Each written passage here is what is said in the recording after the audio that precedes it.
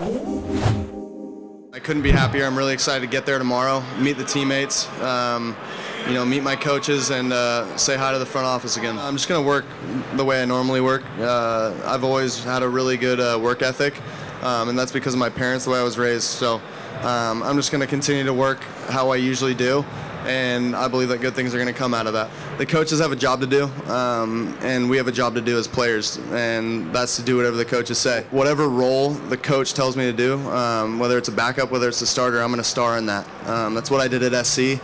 Um, when I was a scout team quarterback, I was trying to get the defense ready every single week, um, and that's just that's just my mind, my mindset, and that's the mindset I'm going to take into the next level as well.